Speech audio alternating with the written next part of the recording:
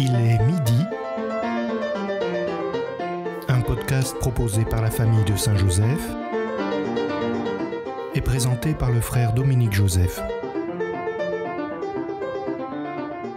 Frères et sœurs, le temps des antiennes est terminé. Nous pouvons maintenant, avec l'Église rassemblée, entonner le grand cantique le grand cri de bénédiction que nous entonnons d'un seul cœur. Béni soit le Seigneur, le Dieu d'Israël, qui visite et rachète son peuple. Ce cantique n'est pas celui des vêpres et du Magnificat, mais du Benedictus et de l'office des laudes, car nous sommes en effet à l'aurore d'un jour nouveau, un jour nouveau point et commence. L'astre d'en haut vient nous visiter, et c'est dans l'esprit de Noël que chaque matin nous entonnons avec Zacharie le Benedictus, car il convient de saluer chaque jour la visite incessante de Dieu qui fait alliance avec les hommes, qui transforme notre histoire et lui donne son sens. Voici venir la force qui nous sauve, celle qui nous rend notre liberté, car il faut être libre pour aimer.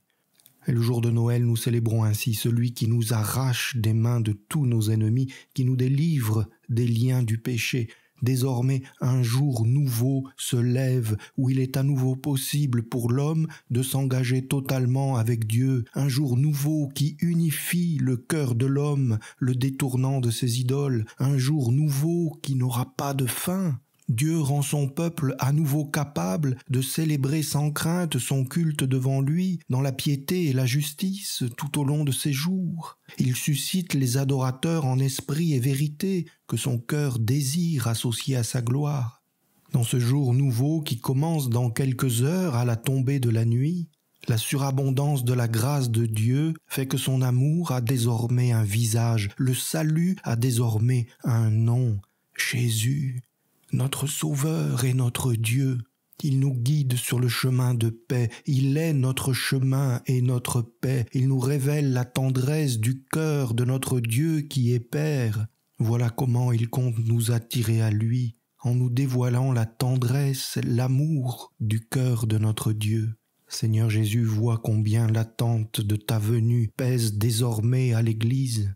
Avec Zacharie, nous sommes entrés dans la louange de ton saint nom. Viens bientôt nous réconforter de ta présence.